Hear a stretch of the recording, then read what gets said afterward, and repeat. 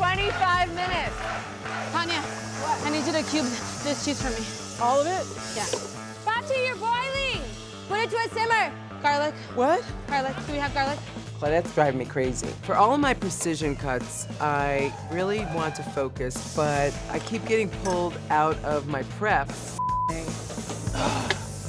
Here, put it in there. I probably should have done speed. I cook for 400 people a day. I can think of dishes that I could have done in 45 minutes really easily. I just don't think it's fair that she's asking us to help her so much. Tanya, get a pressure cooker. I give up.